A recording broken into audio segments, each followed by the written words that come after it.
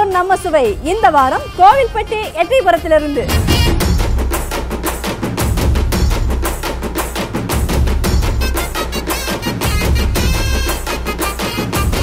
கோவில்பட்டியில கடலை மிட்டாய். நம்ம ஊரு நம்ம சுவை. ஞாயிறு தோறும் மதியம் பனிரெண்டு முப்பதுக்கு நமது புது யுகத்தில்.